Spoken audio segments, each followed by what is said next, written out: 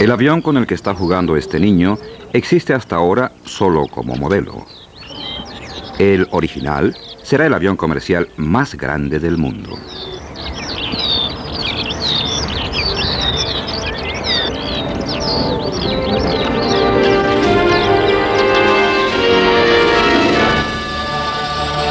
El aparato que atraviesa las nubes en esta animación es un gigante de los aires. El A3XX podrá cubrir mayores distancias y transportar más cantidad de pasajeros que el mayor avión actual, el Boeing 747-400. El nuevo Super Jumbo es un avión totalmente novedoso que está siendo desarrollado por el Consorcio Europeo de Construcciones Aeronáuticas Airbus Industrie. Su entrada en servicio se prevé para el año 2004. La novedad más llamativa para los viajeros, el A3XX tendrá la cabina de pasajeros más ancha y más espaciosa de todos los aviones comerciales. Esta es la cabina de primera clase. Esta es la clase business. Y aquí se aprecia el equipamiento de clase turista. En su versión estándar tendrá capacidad para 555 pasajeros entre el piso principal y el superior pero podrá transportar una cantidad aún mayor aumentando el número de asientos, por ejemplo, en trayectos cortos. La bodega de carga se encuentra debajo del piso principal. Naturalmente, el A3XX estará también disponible como carguero o en versión combi. A partir de la versión básica A3XX100 se proyecta toda una familia de aviones. Una versión alargada para más de 650 pasajeros, una versión para trayectos largos de hasta 15.700 kilómetros. Versión combi y carguero. Y aparatos de alcance corto.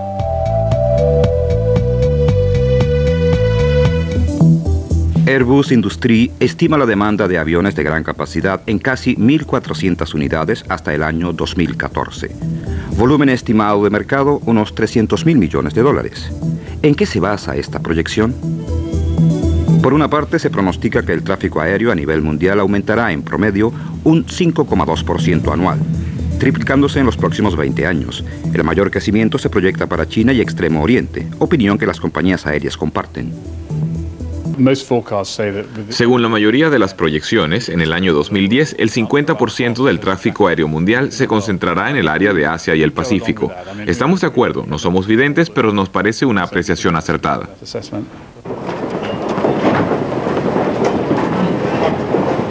El segundo argumento de Airbus.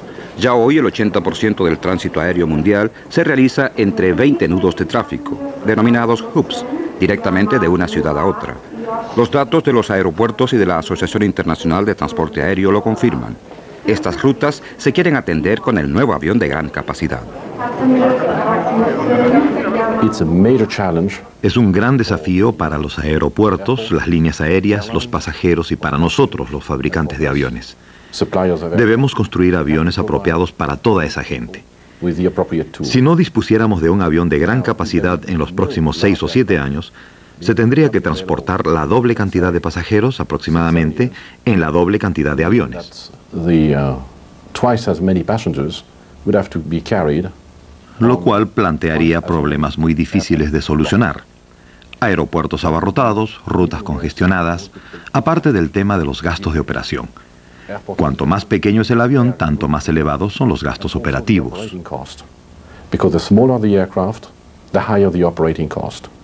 Sobre una base netamente económica, esta es la principal razón para construir un avión de gran tamaño. Este argumento económico es uno de los principales criterios que intervienen en la decisión de compra. Más pasajeros por vuelo y kilómetro hacen bajar los costos operativos. El ideal de las compañías aéreas sería una reducción del orden del 15 al 20%. El tamaño por sí solo no es el criterio decisivo, a menos que una compañía tenga como base operativa un aeropuerto que solo admita un número reducido de despegues y aterrizajes. Es decir, si no es posible aumentar el número de vuelos, se querrá tener un avión más grande. De lo contrario, la única razón para comprar un avión más grande es que se reducen de manera considerable los costos por asiento. El A3XX servirá cuatro mercados. Rutas asiáticas, rutas de Asia a Europa, rutas transatlánticas y transpacíficas y trayectos cortos. Tomemos el ejemplo de Japón. De las cinco rutas más frecuentes del mundo, tres son rutas domésticas japonesas. El desafío que nos plantea el desarrollo del A3XX consiste en que, por una parte, ha de poder operar en trayectos cortos, de una hora de vuelo, por ejemplo, y por otra, conectar los grandes nudos de tráfico entre Europa y Asia, entre Asia y América del Norte, o entre Europa y América del Norte. Estos son, en definitiva, los desafíos técnicos, ser muy buenos tanto en los trayectos muy cortos como en los muy largos. Hablo de itinerarios de 14, 18 o 20 horas de vuelo, es lo que se exigirá en el futuro. Las exigencias del futuro. En esta ciudad se desarrollan los aviones apropiados. Toulouse, centro de Airbus Industrie y sede del socio francés Aerospatiale. Se ve a simple vista que la industria aeronáutica es el principal factor económico de la ciudad. Hay un constante ir y venir de representantes de las compañías aéreas, técnicos y pilotos de pruebas. Aquí se efectúa el montaje final de cinco aviones diferentes del programa Airbus, el A300, A310, A320, A330 y el A340. Este hombre conoce la empresa como la palma de su mano es el padre espiritual, es decir, el ingeniero jefe del exitoso avión de gran capacidad A310.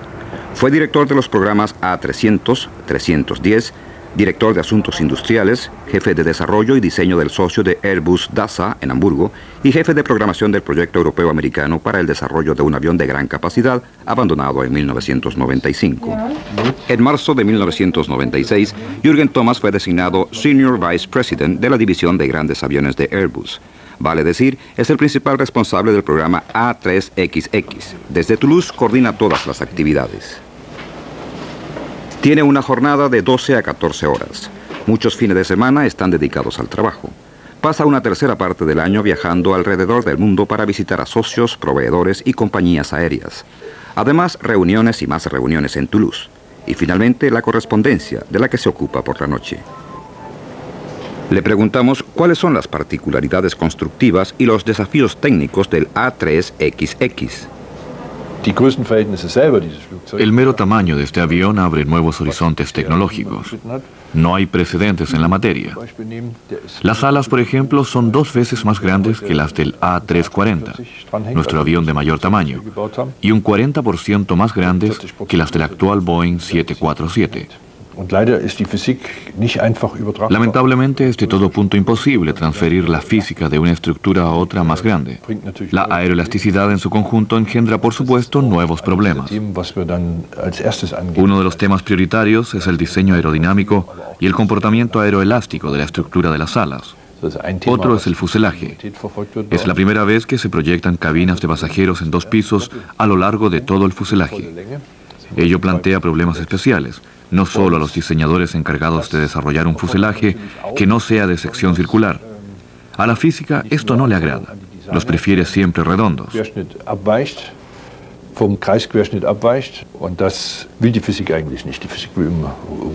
Naturalmente, todo esto requiere la más escrupulosa precaución. También el diseño, un área en que hemos avanzado mucho este año. En Hamburgo, en Deutsche Airbus, se ha hecho un gran esfuerzo para asegurar que después no haya problemas en el servicio a causa de síntomas de fatiga. Ahora vamos a someter a pruebas de presión los diversos componentes estructurales, secciones del fuselaje, las puertas, ventanillas, cargo, etcétera, y los nuevos materiales utilizados, para descartar cualquier problema de esta índole en el posterior servicio.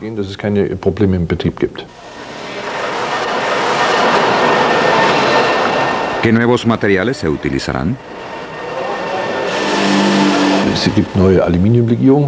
Vamos a emplear nuevas aleaciones de aluminio tanto en el fuselaje como en las alas. Comparado con los aviones actuales, es probable que aumente el porcentaje de materiales sintéticos. El estabilizador horizontal, el estabilizador vertical y los componentes de mayor tamaño del A340 ya se están haciendo de compuestos de fibra de carbono, o sea, de fibra sintética. Pensamos hacer toda la parte exterior del ala de compuestos de fibra de carbono. Eso permitirá reducir considerablemente el peso. Otro aspecto interesante es la posibilidad de ajustar la rigidez del ala, que varía según la posición en que se coloquen las cintas de fibra de carbono. Nuestros diseñadores están trabajando sobre eso. Otro tema es el de las cuadernas o nervios transversales. Un fuselaje de dos pisos lleva un sinnúmero de nervios transversales. Es probable que por vez primera también sean de fibra de carbono. Se ahorran así varias toneladas de peso. Las reuniones con las compañías aéreas y los aeropuertos, por su parte, proliferan, aunque la entrada en servicio del aparato está prevista para mediados del año 2004. La gente de Airbus colabora con 40 aeropuertos de todo el mundo y conoce todos sus planes con 10 años de antelación. El A3XX ejercerá sobre el suelo una presión de unas 600 toneladas que hay que distribuir de manera equilibrada sobre unas 20 ruedas. El avión debe poder girar al llegar al final de la pista sin que las ruedas se salgan de la superficie de rodadura. En los terminales tiene que haber suficiente espacio para que pueda aparcar. Se necesitan hasta un máximo de 80 por 80 metros. Esto no es problema para el nudo internacional alemán, el aeropuerto de Frankfurt del Meno. El aeropuerto de Frankfurt tal vez ya no sea el único, pero fue el primero que con el terminal número 2, relativamente nuevo, reunió las condiciones para el despacho de los denominados superjumbos. Äh, el diseño del Terminal 2 permite aparcar varios superjumbos uno al lado del otro. Tanto el Terminal 2 como algunas posiciones del Terminal 1 ofrecen la caja de 80 metros por 80 metros que estos aparatos, por su envergadura y longitud, necesitan.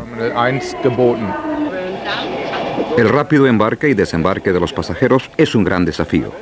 Otro igualmente importante es la evacuación. El avión debe poder ser desalojado en un espacio de 90 segundos.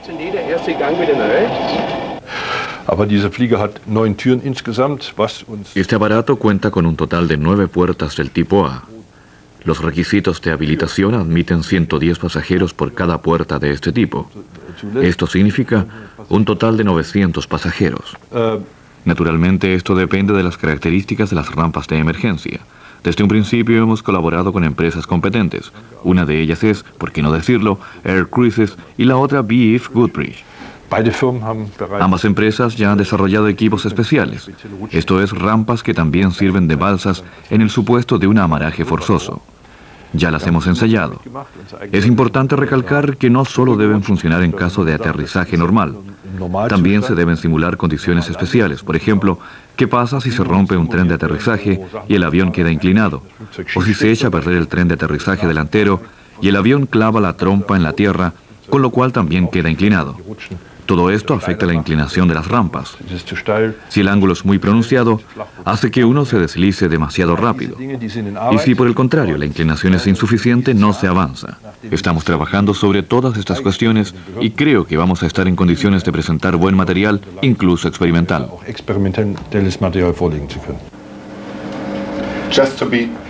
Infinidad de problemas de detalle, labores de coordinación, interrogantes y reuniones. El desarrollo resulta tan complicado como el propio A3XX. Todas las semanas se reúnen en Toulouse grupos de trabajo compuestos por alrededor de 70 ingenieros de la División de Grandes Aviones y los representantes de los equipos de las empresas asociadas. Todos ellos están integrados en un régimen concertado de producción y desarrollo. El procedimiento funciona perfectamente. Airbus lo viene aplicando desde hace 25 años.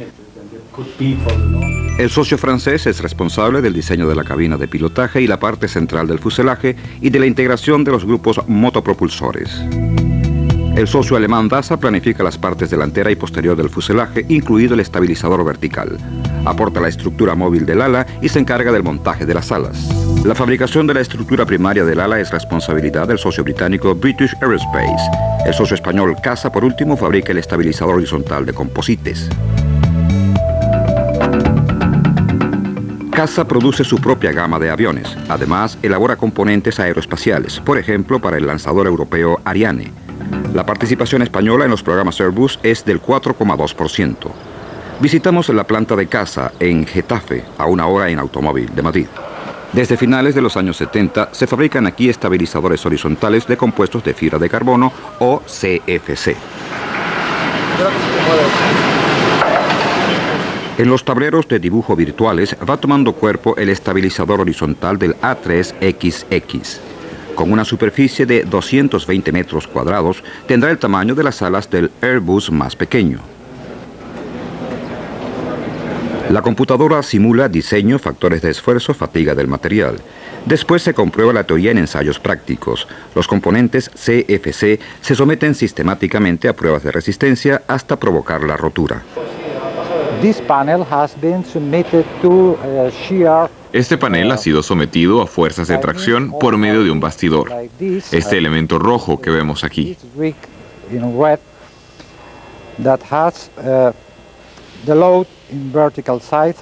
La carga vertical ha sido aplicada a lo largo de este eje y las fuerzas resultantes han provocado la ruptura de las fibras en este lugar, alrededor del agujero. ¿Por qué el agujero? Pues porque concentra los factores de esfuerzo. En un rincón de la nave de pruebas está la estrella, la mitad de un gigantesco estabilizador de CFC, el denominado demostrador de tecnologías. Primeramente debe superar pruebas estáticas de resistencia. A continuación, 60.000 ciclos de vuelos simulados y después cargas de 780 toneladas. Los resultados se utilizan también para el A3XX. Para conocer las capacidades de la estructura tenemos, por ejemplo, hasta mil puntos de medición cuando hacemos las pruebas. Usted comprenderá que así obtenemos una gran cantidad de resultados. Esos resultados los podemos comparar con los cálculos teóricos de los ingenieros y entonces vemos muy bien dónde nos encontramos hoy. Eso nos va a ser de gran ayuda en el futuro. Vamos a hacer lo mismo o algo muy similar con la estructura real. Supongo que va a estar diseñada para el 2002 más o menos. También los colegas de la DASA en Bremen utilizan CFC como material. DASA ha fabricado un ala de CFC para un avión de 100 plazas. El ala será objeto de un programa de ensayos tan extenso como el del estabilizador en España. Ensayo de vibración, solicitación a carga estática, solicitación dinámica, otra vez solicitación estática. Por último, se le daña y se observa el comportamiento de esos daños en otros 30.000 ciclos de vuelos simulados. El CFC es un material fantástico, no se corroe y permite ahorrar hasta un 20% de peso con respecto al aluminio. Además, es más resistente a la torsión. Se le puede, por así decir, confeccionar a medida.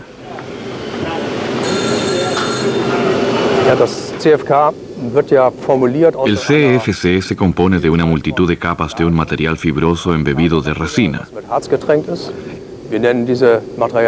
Esas cintas se colocan unas encima de otras en la posición determinada por las características específicas de cada componente. Los resultados de las pruebas a que se somete el ala para el avión de 100 plazas vienen al dedillo para el A3XX, pues está previsto que la parte exterior de su ala sea de CFC. Tienen aproximadamente la misma dimensión geométrica. Esta ala tiene 15 metros de largo y la parte exterior del ala del A3XX tendrá unos 15 a 20 metros, dependiendo de cómo se corte. Naturalmente tendrá que soportar una carga mayor, porque el avión en sí tiene que aguantar una carga mayor. Por eso requerirá estructuras de CFC de más espesor. A partir de esta ala de ensayo, estamos trabajando sobre esas estructuras de CFC en un programa paralelo con componentes de ensayo. El objetivo es tener todos los datos necesarios para cuando comencemos a desarrollar el ala de CFC. De regreso en Toulouse, el centro de la planificación. En la fase actual de diseño, todos los socios aportan sus ideas al proyecto. Se presentan muchas alternativas de diseño, incluso de detalle, para no cometer errores en el concepto básico. Todos los datos confluyen en Toulouse y se actualizan las pautas de diseño para los componentes. Es lo que se llama congelar el diseño, y todos los ingenieros de proyecto que colaboran en el A3XX en Europa y en todo el mundo quedan obligados a atenerse a esos datos. La herramienta básica es un modelo del avión diseñado por computadora al que todos los ingenieros de proyecto tienen acceso y en el que se integran los datos de cada uno de ellos. El estudio de los volúmenes del modelo virtual permite identificar problemas constructivos. La representación jerárquica de las diferentes piezas facilita la localización de los detalles. La jerarquía del diseño está en relación con este modelo, que puede ver aquí. Esta es solo la representación de la parte delantera del A3XX. Los datos pueden verse aquí. O si se quiere, se puede hacer una selección y eliminar algunos elementos. El revestimiento exterior, por ejemplo. Ahora se vuelve a formar la imagen. Puedo acercarme con relativa rapidez, navegar, analizar los espacios y elementos. Puedo estudiar un volumen determinado, el comportamiento en colisión, si se satisfacen o no las exigencias. Gracias a las modernas tecnologías de la telecomunicación, los ingenieros pueden trabajar de forma conjunta sobre dibujos técnicos o discutir problemas, aunque estén geográficamente muy lejos unos de otros. Usted, estando en Madrid, quiere incorporar, por ejemplo, el accionamiento para el estabilizador horizontal en el modelo tridimensional. Si tuviera algún problema, si por ejemplo el espacio disponible no alcanzara para ubicar el sistema, devolvería a la división de grandes aviones el dibujo especificando el problema con un aviso del tenor siguiente. Tengo un problema geométrico y propongo discutir el tema en una de las próximas reuniones para solucionarlo. Con todo, la reunión personal aún existe. Aprovechamos todas las posibilidades de intercambio de información que las modernas tecnologías nos brindan, pero también utilizamos los puentes aéreos de nuestros socios para facilitar el encuentro directo. La Deutsche Lufthansa cubre diariamente el trayecto Hamburgo-Toulouse-Hamburgo por encargo de Deutsche Airbus. En vez de dirigirse por la mañana a su oficina, el ingeniero de Hamburgo toma el avión y al cabo de un viaje de dos horas, bien atendido, llega a Toulouse, hace allí su trabajo y por la tarde, a las siete y cuarto, vuelve a estar de regreso en Hamburgo. Daimler-Benz Aerospace Airbus, DASA, en Finkenwerder, Hamburgo. Este curioso avión que se prepara para despegar es un Beluga, un carguero de gran capacidad. Lleva componentes estructurales producidos por los socios a las líneas de montaje final. En Hamburgo se fabrican, por ejemplo, segmentos del fuselaje, las alas y los estabilizadores verticales. Además, se incorpora el equipamiento interior de muchos aviones. Y se efectúa el montaje final de dos modelos, el A319 y el A321. Además, DASA realiza también trabajos de investigación y desarrollo. La última novedad, un banco de pruebas de cabinas y sistemas de 11,5 metros de alto, en formato Megaliner el conjunto permite formarse una primera idea concreta del futuro, pues estos diseños podrían integrarse también en el A3XX. Bienvenidos a bordo. Esta es el área de entrada. Cuando subimos hoy a un avión lo hacemos generalmente por la cocina de a bordo. Nosotros creemos que en un avión como el A3XX el pasajero debería ser recibido como en un hotel. Para ello hemos concebido esta área de recepción donde el asistente de vuelo pueda indicar al pasajero dónde se halla su asiento. Para que sea rentable, podría usarse como bar o para la venta de artículos libres de impuestos durante el vuelo. Esta es la cabina de primera clase. Se destaca por una espaciosidad sin precedentes. La gran altura de techo brinda la posibilidad de estar de pie debajo de los compartimientos para el equipaje de mano que se podrán bajar eléctricamente. Hemos incorporado algunos detalles novedosos en la primera clase. Superficies de vidrio ligero resistente al rayado, muy fáciles de limpiar, y cristales antisolares regulables.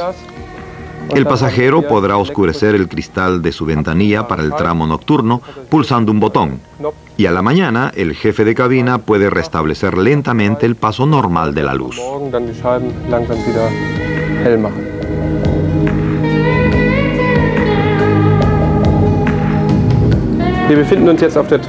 Aquí estamos en la escalera que conecta el piso principal con el piso superior.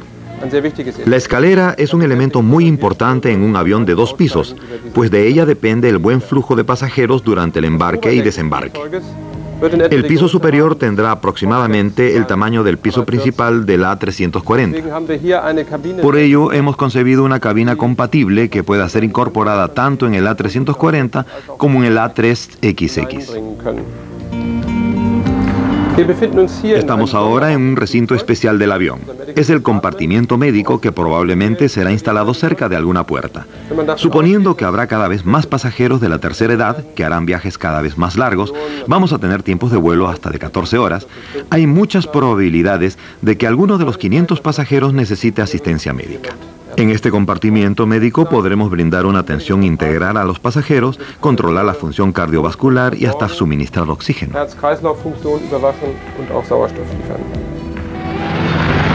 Una presentación del proyecto A3XX en la ILA 98, la Exposición Internacional Aeroespacial de Berlín-Brandeburgo. La ILA brinda al público la oportunidad de ver de cerca una multitud de diferentes aviones.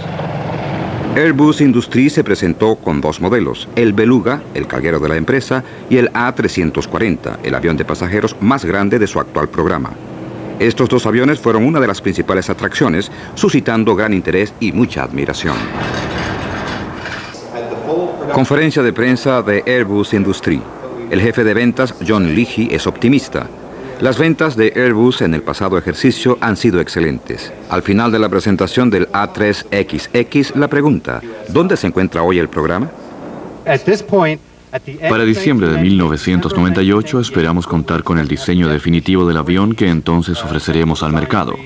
En la segunda mitad de este año, Jürgen Thomas, el jefe del programa, y yo visitaremos a las compañías aéreas. No para presentar ofertas concretas, sino para mostrar lo cerca que estamos de la definición del diseño. En 1999, eso espero como jefe de ventas, contamos tener luz verde para ofrecer el producto a las compañías aéreas.